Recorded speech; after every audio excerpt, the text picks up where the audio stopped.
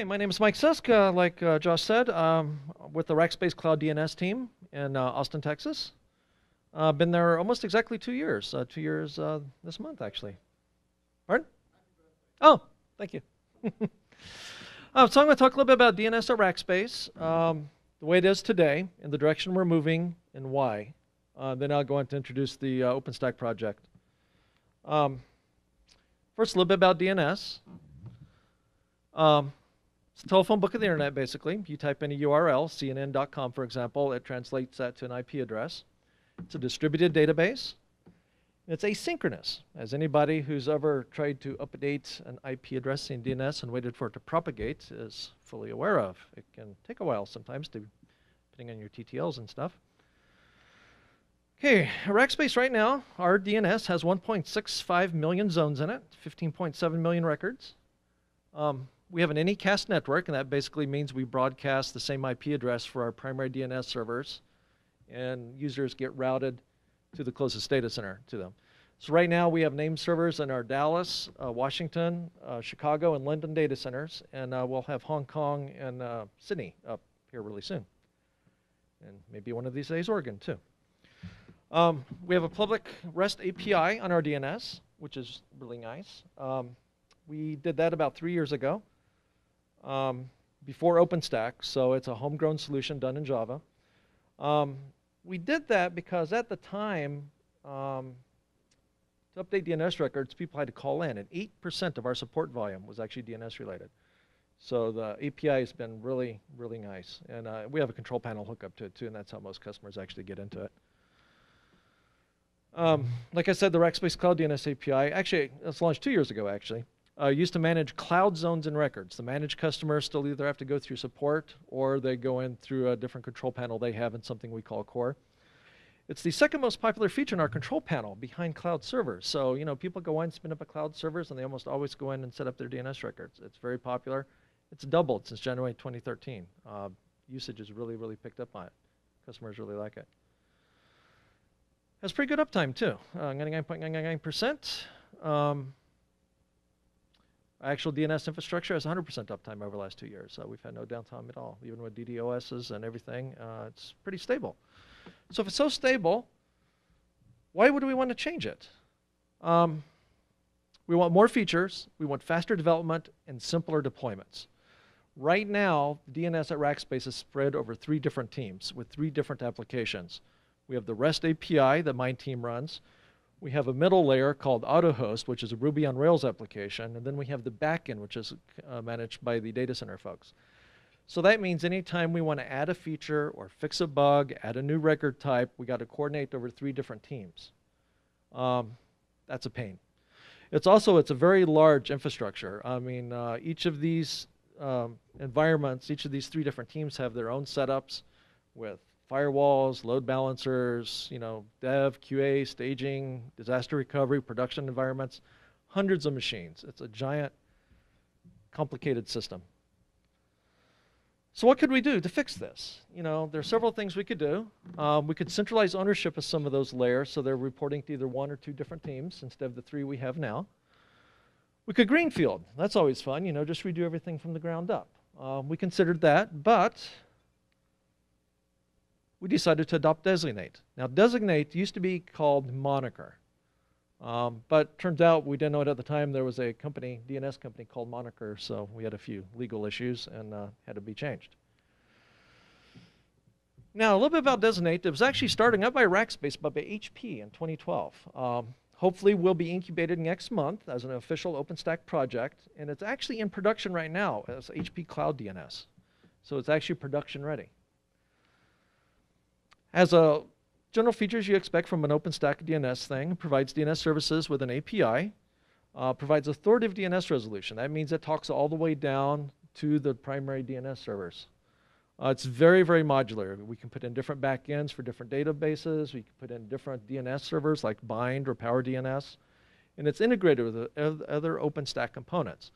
So, you know, like um, you can get plugins for Neutron or whatever to uh, automatically add DNS records when you spin up cloud servers and stuff from Nova and stuff. Um, and uh, hopefully Trove here soon too. So this is the architecture. Um, it's like a lot of OpenStack stuff. It, um, we have an API, and it all talks on a RabbitMQ bus. We have optional components called Sink, which gets uh, Nova Neutron events. Um, the main central part is called central, uh, designate central. That's where the actual, it takes stuff from the API and uh, puts it either, uh, puts it into a database for the record keeping and then pushes it out to the DNS servers. But here's, a, here's the same thing I just talked about, a little bit more detail. Um, the API front end is called Designate API. It's based on Oslo and Flask. Now that is currently being reworked to use Pecan instead of Flask. Um, Designate Central is the core business logic component. It has all the basic DNS record types and everything in there. And that's the only piece that talks to the database. And it talks directly to it using um, a Python library. Um, so it listens on the, on the RabbitMQ bus to get its uh, event notifications. We have a public, pluggable storage for the database. Right now we're using SQL Alchemy. And we talked SQLite to MySQL. That's what we have right now. We'd like to expand that uh, with MongoDB or some other stuff. And we have pluggable backends with interfaces to the DNS servers. Implementations for PowerDNS and Bind9 we have right now. Um, the Bind9 interface is a little rough. We're working on that right now to get that to work at the scale we need. Future, V2 API being worked on right now. Uh, it's adding new features like record sets to be uh, kind of similar to the way Amazon's Route 53 works. Um, DNSSEC is something we want. Failover is something we're also actively working on. So there's a failover record, so you can send a monitoring event to it if you have a data center go down, and it will automatically update the DNS to route things to the other data centers.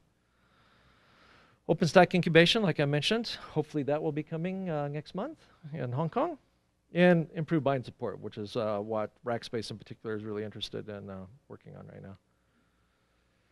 Now this is very good for us in a lot of different ways. It consolidates and simplifies the architectural deployment system because everything will just be like one code base. That'll be really nice compared to what we have now. It's compatible with OpenStack. It's open source, unlike our stuff we have right now, which is closed sourced Java code and uh, Rails code. And uh, dog food. I mean, we have a big investment in OpenStack. We should be using OpenStack for all the projects that we can. So that's one of the reasons we use to go down this road. Now, let's do a quick demo so you can see how the API works if I have internet connectivity. Looks like I still do. So I'm just going to cut and paste here real quick using curl so you can see how the API works. Uh, this is a uh, Doing a curl command against a, uh, this is on a Rackspace public cloud server called NS, I called it ns1.racksdns.com. Uh, this is straight out of trunk of the GitHub, designate GitHub and configured. Um, you can see it's actually responding. Now for these demos, I turned off the Keystone integration uh, just so I don't have to deal with authentication tokens and stuff. Um, that's an option you can use. Because uh, at Rackspace, we actually use something called uh, Repose for our uh, authentication stuff anyway. So right now I'm going to create a domain. You can see the curl command there. Um, it's all in JSON. I'm including some data there that includes this domain.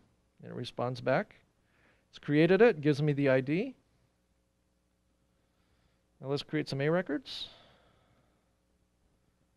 And here I gotta put in the ID of the domain that was just created.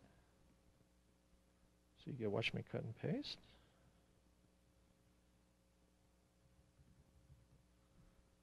I created that record. Let's create a CNAME. Same thing again. Whoops.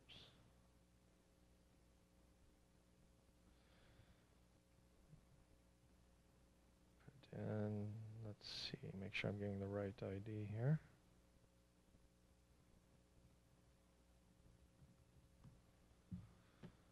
Okay, so let's list the domain records. Again, we gotta give it, it's just doing a get against it with the ID. Make sure I get the domain ID and got the record ID.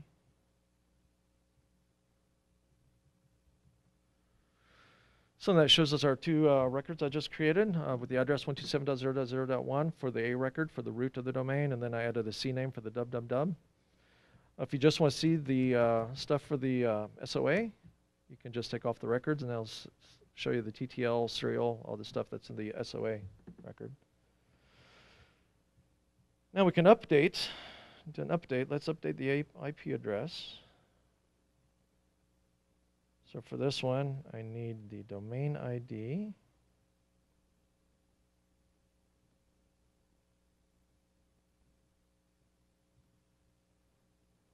Do the records and record ID. The record ID, I'm updating the A records, so it's this guy right here. I need that's ID. This is a lot easier if you use a uh, binding library, but for the demo, just do curl. And it's updated. Now we can check that from outside. We can just do a lookup on this server itself using host or dig or whatever. This is actually querying the Power DNS server, which I'm using for this demo. And um, you can see it's updated 192.168.1.2. Um, the version 2 API is going to change a few things. Instead of doing the uh, puts and post, we're going to be doing patch, which is the new way of doing REST API stuff. Yep.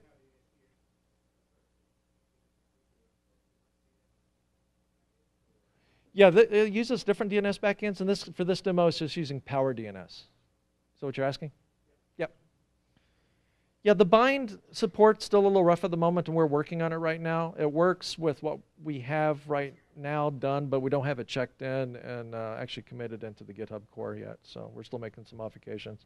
So I'm just doing the Power DNS, which works pretty well. Then just to delete the whole thing, you can just send a delete command. And again, put in the domain ID. Again, if you've worked with the OpenStack APIs natively, it's uh, very similar to the way everything works there. And it's gone. If I go back up to the top and just list the domains in this account, it's all gone. So that's a demo in a nutshell. The most of basic features that you can get through the API. Let me go back into presentation mode. Okay, so that's pretty much what I had right here. Um, we're looking for more people to help with this project. Right now, it's just HP and us. We'd like to have more people involved in this. It helps our incubation status. Um, this is where the you can get the information on the project. We have a pretty active IRC room on Freenode, OpenStack DNS. Uh, code's all in GitHub, and uh, we have some pretty good docs. We've been working on docs, and we got a pretty nice uh, getting started guide we had one of our interns work on. So also there's a blog article on the one of the Rackspace blogs that was just put up last week, I think. So, any questions?